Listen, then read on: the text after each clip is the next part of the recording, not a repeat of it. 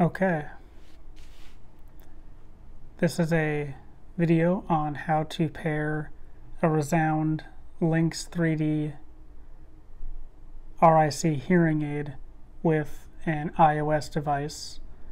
In this case, I'm using an iPad to demonstrate this.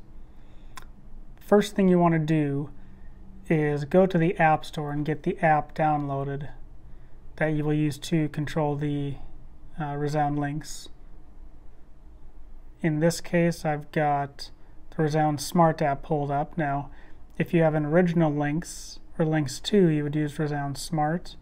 For the LiNX 3D, download the 3D app. You can see both of them on the screen here as I just searched for Resound Smart.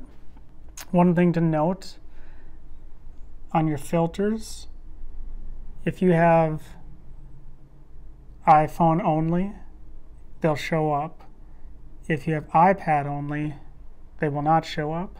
So make sure when you're searching for the Resound app on your iPad, actually go into your filter and select iPhone only.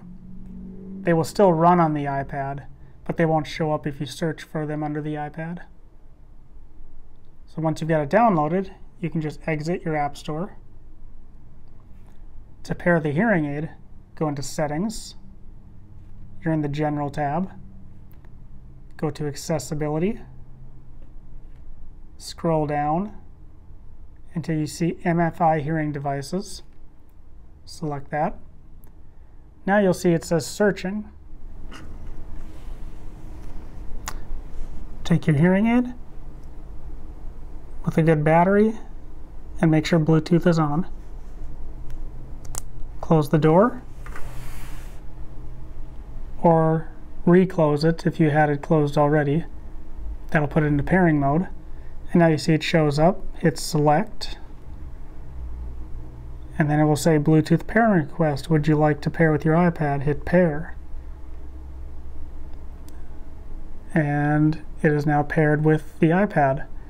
Now if you had two hearing aids, you would be doing the same thing, only the pairing message would come up twice and you would hit pair both times, indicating that you're pairing a right hearing aid and then a left hearing aid to go with it.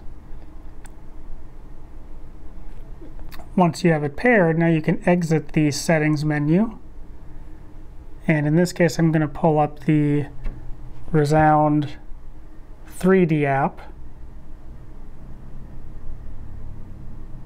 off on the right there.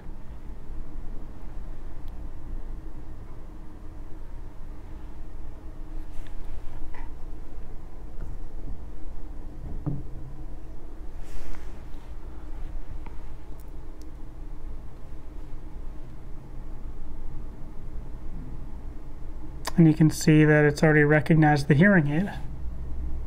In some cases